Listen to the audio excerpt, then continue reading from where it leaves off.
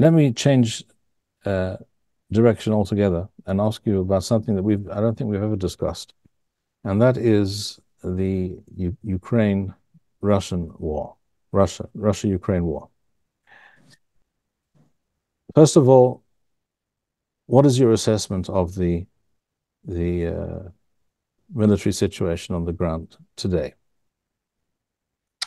I think it's um, dire for the Ukraine.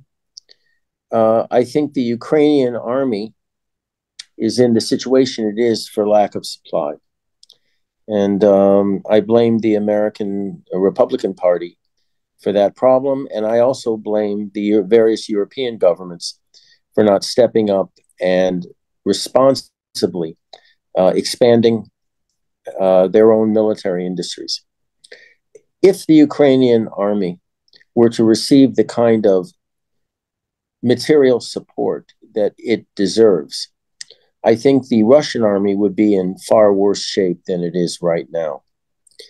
The Russian army's performance has been, to put it mildly, deplorable. Um, their latest quote victory um, was the result of what we call steamroller uh, tactics that killed 14, 15, maybe 16,000 soldiers, uh, hundreds and hundreds of armored vehicles that they can ill afford to use. They lost uh, numerous uh, highly sophisticated uh, aircraft, fighter bombers that they also can ill afford to use. And what did the Ukrainians do in response? Well, they they are creative and they um, just kept producing drones, first person viewing drones, they call them. They're kamikaze drones. And this is what they're using in place of heavy artillery. And it is holding the line between those drones and uh, Russian uh, human wave tactics. Uh, so far, the Ukrainians are holding on. Um, the Ukrainians have done a splendid job in the Black Sea in both bottling up and then destroying the Russian Black Sea fleet with the use of um, sea drones, uh, very sophisticated ones, I might add. And the Russians don't seem to, the Russian Navy at least doesn't seem to have an adequate response to this. A lot of people are not, I'm, I'm reading, I'm in the weeds as far as this war is concerned. And the Russians are losing a lot of very high value targets that uh, people are not aware of. Ships, uh, AWACS type aircraft, airborne warning and control aircraft that they can ill afford to use, very sophisticated Su 34 um, fighter bombers. Um, they have withdrawn uh, from combat, the uh, T 14 Armata tank, which is their latest and greatest uh, uh, tank, because they're afraid of it being embarrassed on the battlefield.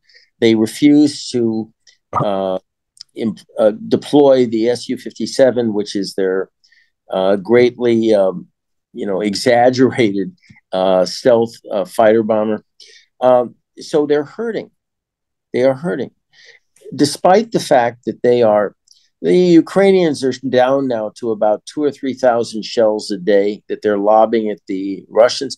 And the Russians are coming back with 20, 30, 40,000 shells. Now, this is a day. This is like World War One. And the fact that the Ukrainians are holding on right now is um, really it's it's quite remarkable. They have a well motivated, a very highly motivated army that uh, seems to be well led.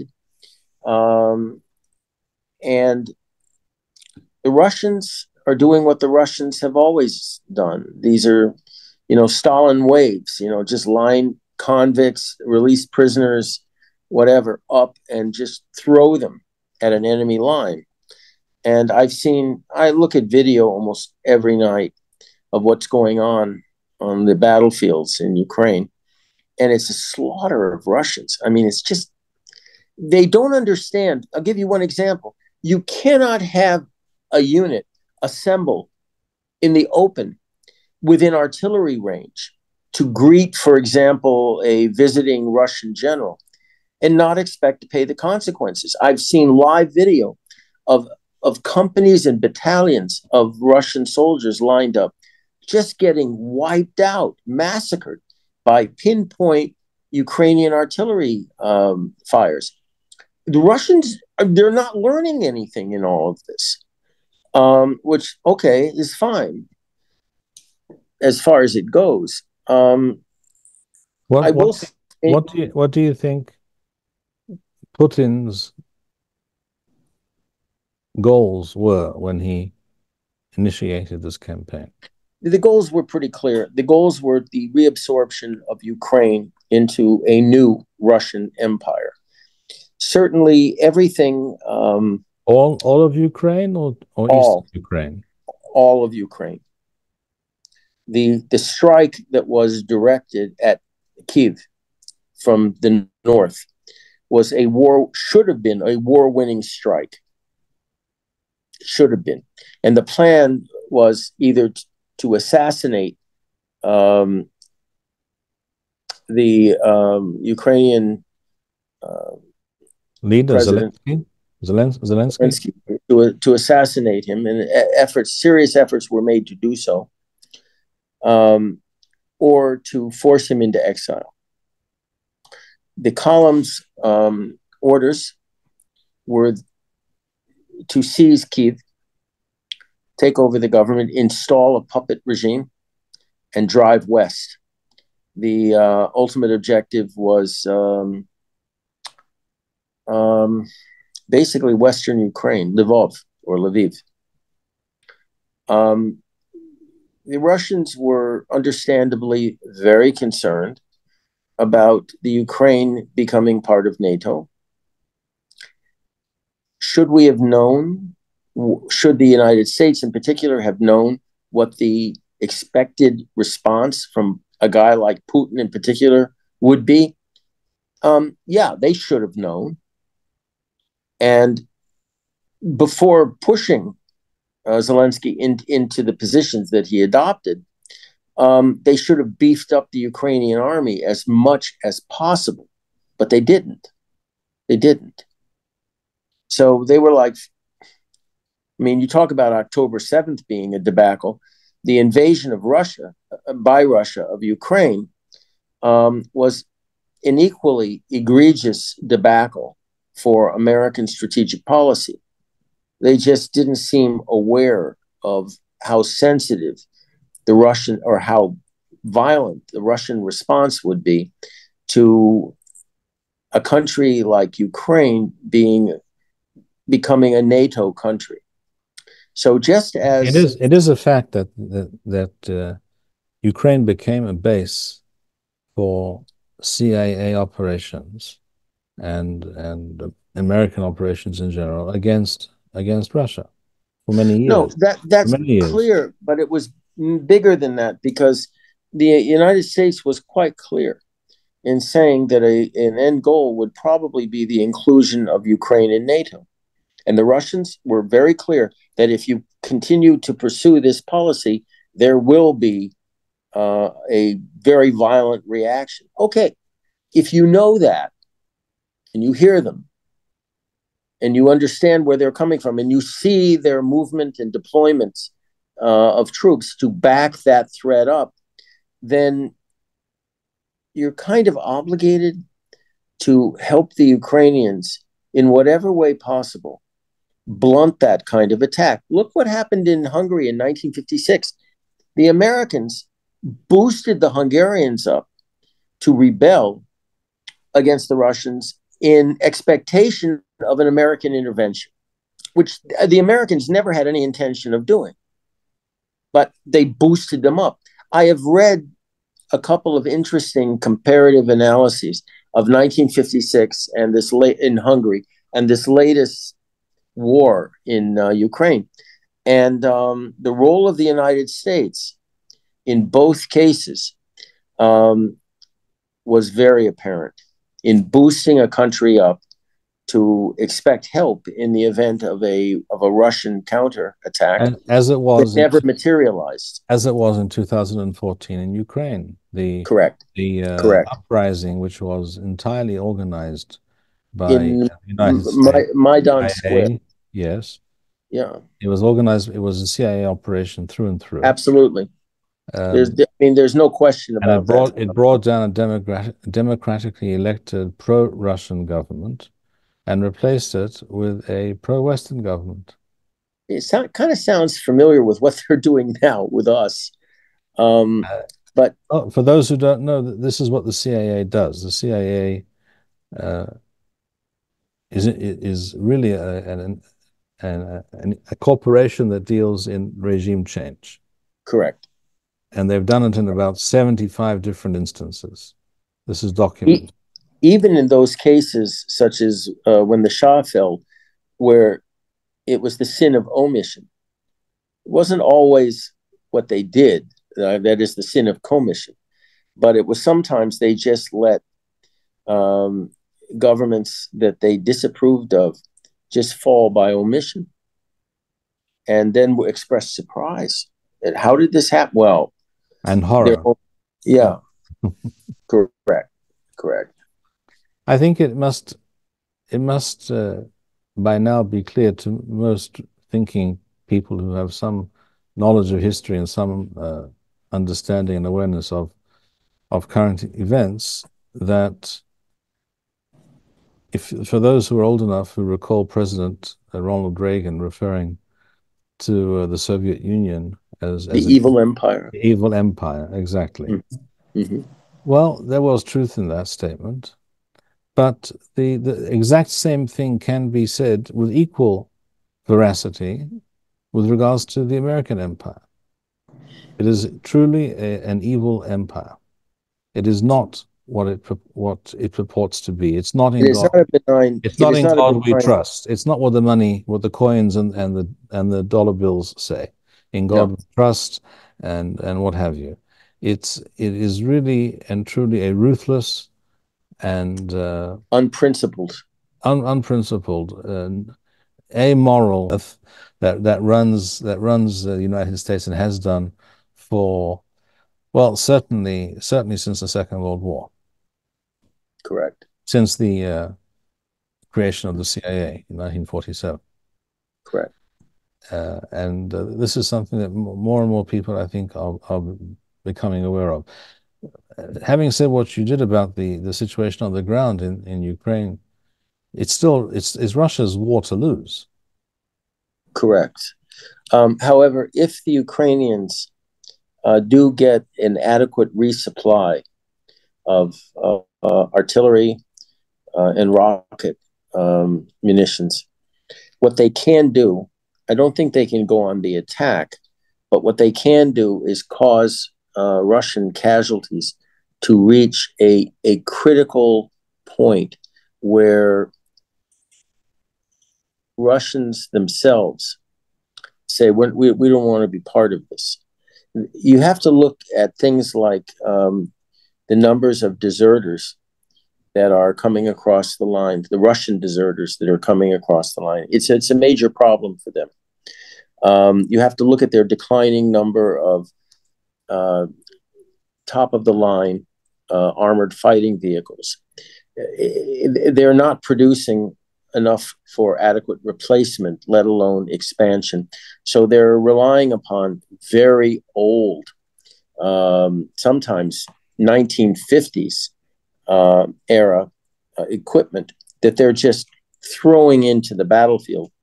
It's not entirely clear that they have adequate artillery production capabilities, hence their reliance on, believe it or not, North Korean and uh, Iranian uh, artillery and missiles. Um, the, And the dro- North Korean, drones, drones. well, drones, yes, but also now uh, missiles, surface to surface missiles, and uh, artillery, heavy artillery shells. Um, the North Korean material is shown to be pretty inferior.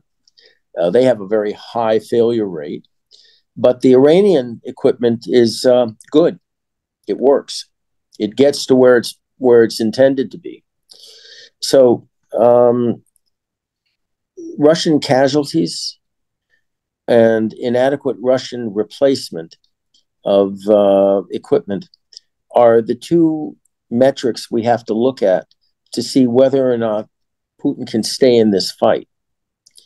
Uh, the Ukrainians have shown no inclination whatsoever to just surrender their uh, eastern regions, the Donbass regions and Luhansk, and that regions in the east, the areas that are typically characterized as Russian speaking areas um, that are now occupied by the Russian army, or even the Ukraine for that matter.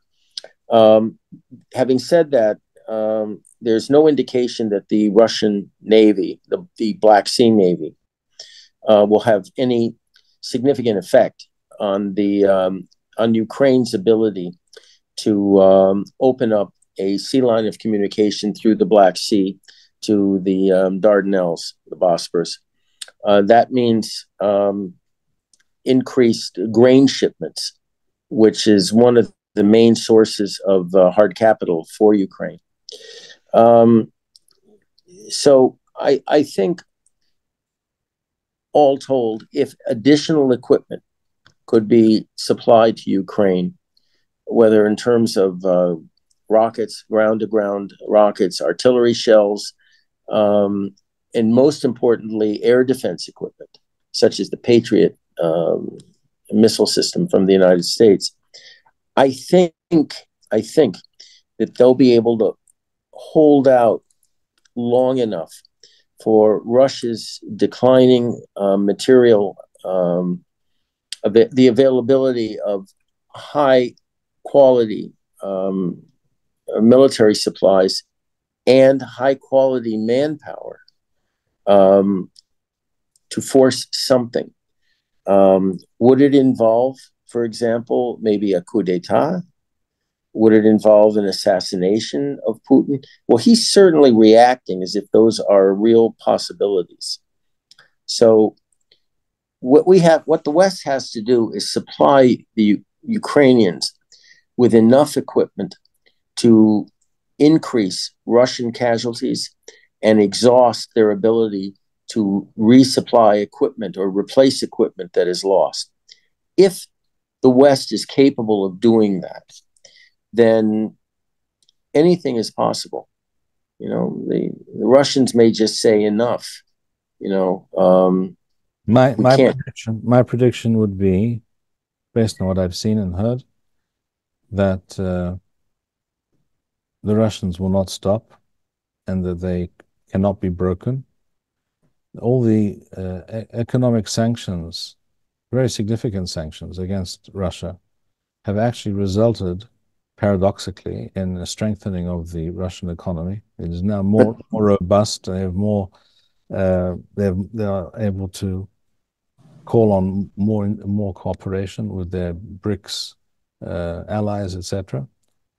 I, you have to be careful. I think, I think the I, th- I think the Ukraine, despite what you have said, and I also doubt the American ability to uh, endlessly resupply the, the U- Ukrainians, and the Ukrainians have suffered my understanding is something like 400, 500,000 uh, casualties. Casualties. Um, they just they will not have the wherewithal to continue. I think the the Russian ability to evade sanctions has got to be looked at very carefully, because what they've actually expanded is some of their military production capability. But as far as their economy is concerned, it's really suffering and will continue to suffer for the foreseeable future. Will the Russians continue to fight? Um, I, I could say yes, they will, until they, they view they view it as existential. They do, and if they have to supply soldiers with pitchforks and send them into battle, they will. But there will come a point in time, uh, possibly, where their casualty numbers will just be unsustainable. And there are certain parts of the front right now where that is the case. Um, they're raiding their prisons right now for manpower, and that that can't work out too well for them over the long term because they're hardly trained. Uh, the desertion that's, rate. That's entirely true, but but you Ukrainians have an even more severe manpower problem. You, the Ukrainians do have a manpower problems, and Zelensky is now doing his best to kind of scrape the bottom of the barrel. But this is why uh, Western resupply uh, to the Ukrainian army is so important because this equipment can be a substitute. If you're not going on the attack, but you're simply blunting an en- enemy attacks, then uh, additional uh, numbers of superior equipment, uh, which the Ukrainians can operate, is the best substitute for a lack of manpower. Um, you need the manpower to go on the attack. If they don't have it, then they're just going to have to hold the Russians long enough for something to happen. Um, and that something has to do, unfortunately, for the Ukrainians, with uh, Putin being overthrown. And the chances of that, I, I wouldn't want to. Um, I would not bet on that. I wouldn't bet on that at all. When you're dealing with a ruthless man, um, I, I wouldn't he, bet on he, it. He is ruthless, no question, but he is also a Russian patriot. And I believe he has the support of uh, the vast majority of the Russian people. And uh, I do, my, my position is that uh, the West, and particular, particularly the United States, um, acted quite reck- recklessly in co-opting various East European nations into NATO. And this, this was uh, a scenario that was entirely predictable. In fact, uh, Putin said explicitly several times that this is what will happen if you do not cease and desist. I think that the Ukraine might have been um, a country too far for NATO expansion. Uh, the Russians were unambiguous in, in, in saying if you try to incorporate Ukraine into NATO, there will be a violent reaction. I think the more appropriate uh, course of action would have had the West uh, try to create a neutral Ukraine, uh, something like the old Finland. Yes, but that's uh, but that's not, not what the, the, the Nulands and the uh, and the neocons. Uh, no, they they in the U.S. were interested in doing. No, not at all. And uh, despite the fact that uh, Putin was unambiguously clear in what the potential consequence not sorry not potential what the what the consequences would be of an attempt to turn Ukraine into the eastern bastion of NATO um, once again we have to have a very clear understanding of what we did what the west did to precipitate this nightmare um, in Ukraine. Um, will we fight? Will the West fight to the last drop of Ukrainian blood? Well, it seems that's the case. So, I think I think that is likely to be the case, and I I predict that this will be viewed with the benefit of hindsight by historians. This episode um, and all, all that led up to the uh, outbreak of war in, in Ukraine, but all the policies, the American policies that led to that over many years, going back to the time of Clinton, shall we say.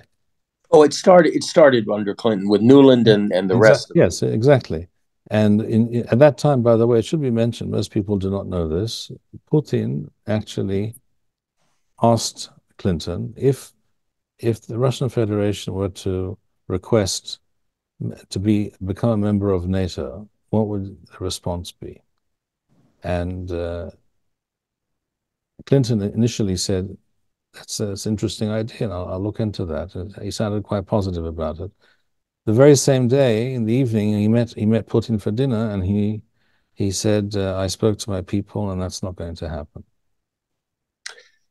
If you look at what Victoria Nuland said in by way of intercepted um, Russian intercepted communications.